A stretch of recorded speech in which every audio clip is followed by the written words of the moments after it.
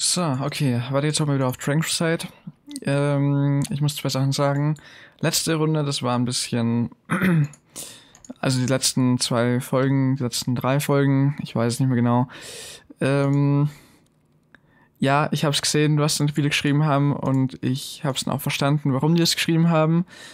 Äh, das war ein bisschen lost. Ein bisschen sehr lost.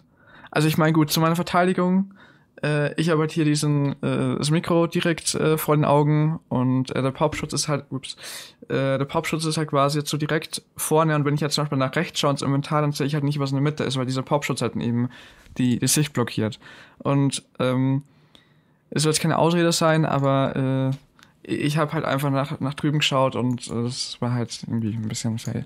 Also ich habe nicht gesehen, dass da irgendwie stand, äh, Boss gespawnt und so weiter. Ähm, ja, ich meine, ich habe es auch nicht im Chat gesehen, das muss ich allerdings auch dazu sagen und spätestens da hätte ich es wahrscheinlich sehen können. Und ähm, ja, war einfach nicht der Fall. Also von dem her lag wohl nicht an der Top Rate, sondern lag wohl an mir. Was ein bisschen bitter ist. Aber naja. Okay. Ähm, der Ringmaster hat Akro. Nicht gut, nicht gut, nicht gut. sollte eigentlich hier auch auf dem Ding sein. Okay. Schon besser. Ah, ich habe keine Party mehr. Oh Gott, ey. Es läuft hier schon wieder. Von lauter Reden. Ja, Hope. Hope ist das, was wir gerade brauchen. Okay, schon besser. Hoffentlich. 7k Damage doch viel angenehmer direkt. Ja, ähm, ich wollte letztens, äh, oh, fangen wir erstmal mit dem Aktuellen an. Ich wollte gerade mein, äh, äh, Dingensen hier, äh, meine Tonqualität verbessern. letztens hat mich jemand einen Kommentar geschrieben, ähm, nimm doch hier mal dieses Nvidia Voice und so weiter, damit kannst du eben das Klicken und so weiter rausfiltern. Dieses Ding hier, oder dieses Ding. Und äh, haben gedacht, okay, gut, bevor ich jetzt heute aufnehme und so, schaue ich generell mal rein und äh, vielleicht ist es ja ganz schnell gemacht. Hab's mir gedownloadet, wollte es installieren, geht nicht. Äh, Voraussetzungen nicht erfüllt. Schau in Systemanforderungen rein. Ich brauche eine RTX-Karte dafür. ich brauche für Voice Removal eine, R äh, eine RTX-Karte. Ich hatte gestern auch wieder so ein sehr ähm, geiles Erlebnis mit äh, meinem iPhone. Also ich meine, man kauft sich ein iPhone für wirklich viel Geld.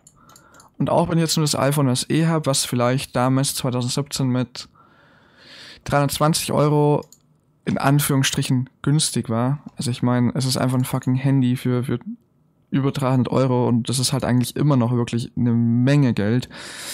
Ähm, naja, auf alle Fälle damals die 32 GB Variante gekauft. Ich glaube, die 16 GB Variante gibt's beziehungsweise gab's nicht mehr. Und äh, ja, normalerweise bin ich jetzt jemand, der nicht so viel äh, auf sein Handy draufklatscht. Äh, mittlerweile ist es halt ein bisschen mehr geworden. Und ähm, ich denke mal die ganze Zeit schon so, Alter, ich krieg, ich habe was habe ich drauf? Ich habe fünf längere Videos drauf oder vier längere Videos, äh, paar tausend Bilder und das war's. Klar, klingt jetzt natürlich nach viel und so weiter, aber äh, ich habe es natürlich auch im Nachhinein noch mal ein bisschen komprimiert auf dem PC und habe das dann wieder draufgeschoben. Ja, warum, warum äh, kriege ich nicht nichts drauf, denke ich mir die ganze Zeit. Schaue ich generell mal so rein, was kann ich denn löschen und so? Was, was kann ich denn noch irgendwie hier. Äh was ist jetzt los? So, okay, da wurde unterbrochen, da kam mein Essen an und ähm, als Essen war noch kalt. Von dem her lief's eigentlich mal wieder super. Okay, wo waren wir gerade stehen geblieben? Ich habe keine Ahnung mehr, wo ich war, äh, worum es gerade ging und äh, ich, ich habe gerade keinen Überblick mehr, sorry. Gut, wie dem auch sei. Auf alle Fälle, was ich vorher mal erzählen wollte, war eben äh, hier Handy und so. oh, Stimme. Ähm, und wo fängt man am besten an? Ich habe mir das Ding gekauft, das war 2017. 32 GB hat das Ding und Betriebssystem hatte ungefähr so 3,2 GB. So der eine oder andere kann sich jetzt schon vorstellen, worauf ich hinaus will. ja, äh, Betriebssystem und äh, Systemdaten, also im Prinzip ist einfach mal nur so diese Systemdaten, haben aktuell eine Größe von 10,7 Gigabyte. ähm, die Datenmenge hat sich einfach mehr als verdreifacht. Und ich muss ganz ehrlich sagen, das muss man sich ja wirklich jetzt mal äh, so vor Augen führen. Du kaufst den iPhone mit 32 GB Speicher ähm, für den Preis, beziehungsweise äh, für, für Speicher, also 32 GB, äh, der, den sich äh, Apple da ziemlich vergolden lässt. Ähm, zahlst du dann eben, wie viel auch immer das Ding dann kostet, 320 Euro in meinem Fall. Und drei Jahre später ist es halt einfach so, aus diesen 32, äh, 32 Gigabyte wurden dann, naja, äh, 21, irgendwas Gigabyte. Dazu kommt noch, das ist nicht mal alles. Das Lustige ist ja auch, das Lustige ist auch, ähm, man kann ja nicht alles nutzen. Das heißt, äh, so 2 oder 3 Gigabyte sind sowieso mal reserviert. Das heißt, effektiv habe ich nicht mal 21,3 Gigabyte frei, sondern irgendwie nur 18, irgendwas. Und das macht die ganze Sache im Prinzip einfach dann noch schlimmer. Weil, ähm, ich meine, du kaufst dir halt ein Handy und effektiv kriegst du eigentlich nur, naja, ein bisschen über die Hälfte. Also 40% kannst du gar nicht nutzen. also ich weiß es nicht, aber ich muss ganz ehrlich sagen, ähm, geplante Obsoleszenz ist da halt wirklich nochmal so ein, äh, ja, ein ganz anderes Thema. Ähm, Im Prinzip allerdings hier in einem Fall, äh, der eigentlich so gar nicht absehbar ist oder gar nicht absehbar war. Denn ähm, ich meine, jetzt mal im Ernst, das ist doch wirklich, das ist doch wirklich verrückt ich meine, es ist wahrscheinlich verboten und so und, und wahrscheinlich gibt es auch äh, einen guten, ähm, äh, haben die auch wieder einen guten Grund oder so, dass die sagen so, nee, das ist wichtig und so weiter und das muss so sein und keine Ahnung. Aber ich meine jetzt mal im Ernst. Windows 10 hat aktuell 20 Gigabyte. Warum sollte ein windiges Handybetriebssystem, welches sowieso sehr abgespeckt ist, eine Größe von sage und schreibe 10 beziehungsweise fast 11 Gigabyte haben. Also ich meine, das ist halt schon mal wirklich ziemlich, ziemlich verrückt, wenn ich ehrlich bin. Und ja, also ergibt sich mir persönlich nicht und äh, ich muss ja ganz ehrlich sagen, es ist, ja, man, man wird da echt schon zu einem gewissen Teil einfach gescammt. Also normalerweise kannst du jetzt hier sagen, so, yo, hier keine Ahnung und so weiter. Normalerweise ist es halt geplante Obsoleszenz und so weiter und äh, das Ganze geht auch nicht so einfach. What the fuck? Dragon Ball? Okay. Ähm, aber hier, beziehungsweise in diesem Fall, ist es einfach so, mh, mm, nee, man kann es, also Apple kann das im Prinzip einfach machen. Das ist gar kein Problem. Das ist auch vollkommen legal oder so, da kannst du auch nichts gegen machen. Äh, die laden einfach dein Handy mit, mit Scheiße zu.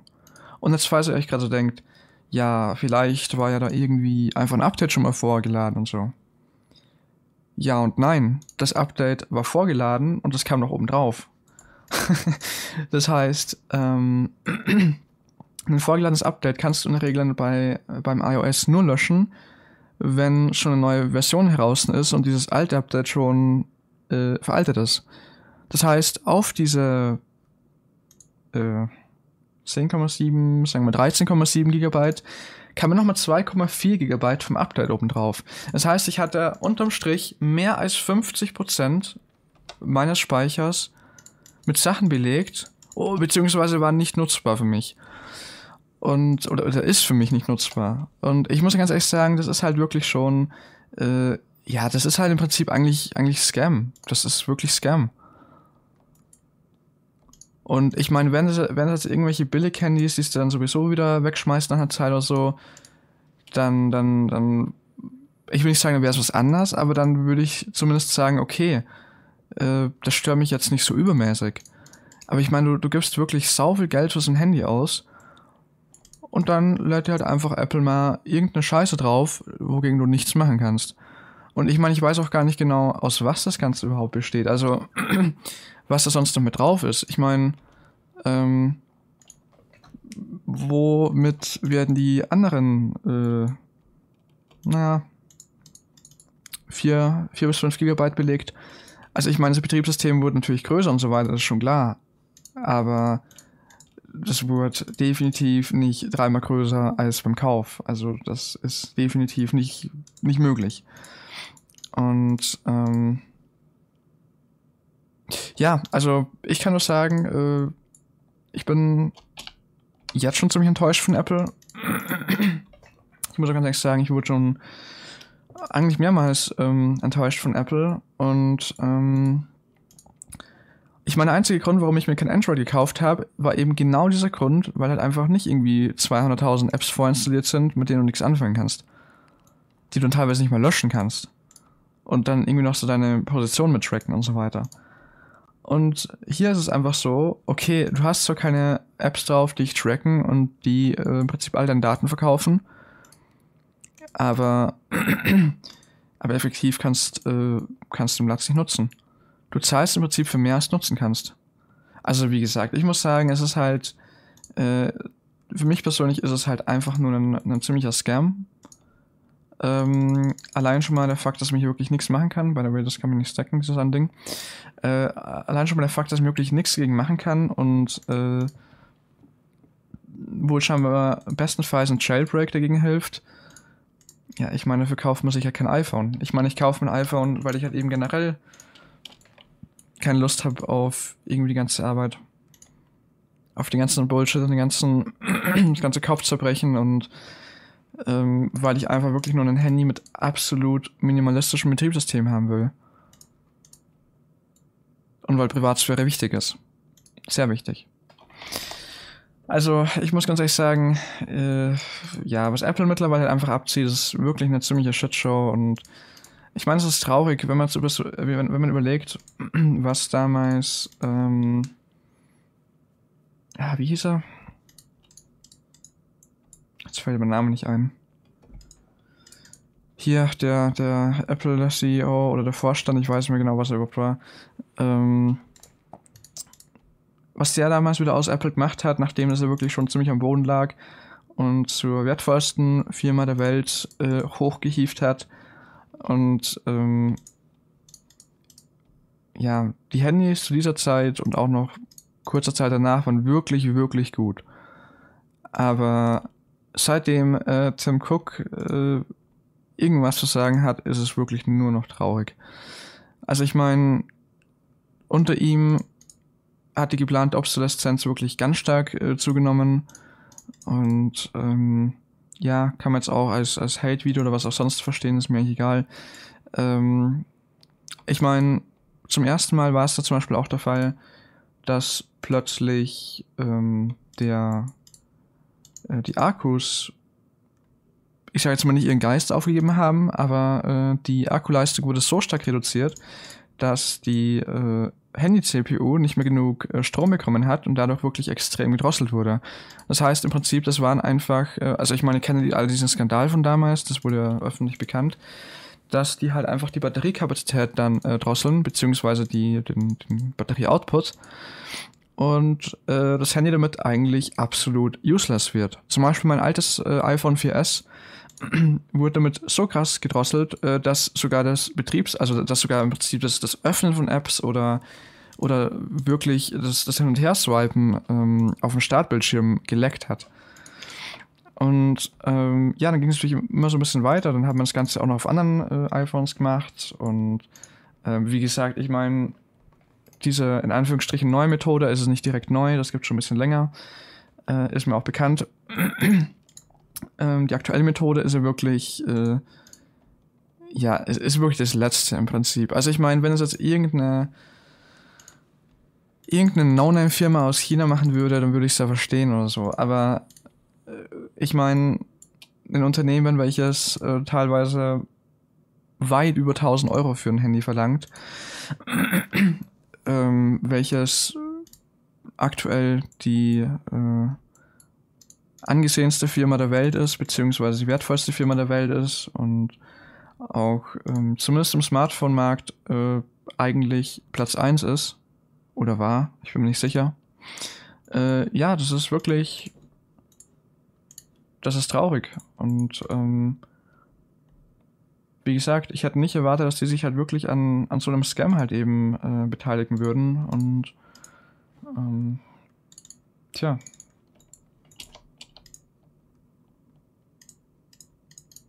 Ich muss ganz ehrlich sagen, ich bin, ich bin ziemlich enttäuscht von, von denen. Also hätte ich nicht erwartet. So, jetzt muss ich den ganzen Bullshit da mal verkaufen. Ich habe nämlich eh schon wieder viel zu viel Bullshit hier drin. Kurus. Alter, ich habe so viele, so viele äh, Set-Teile schon wieder drin. Das ist auch krass.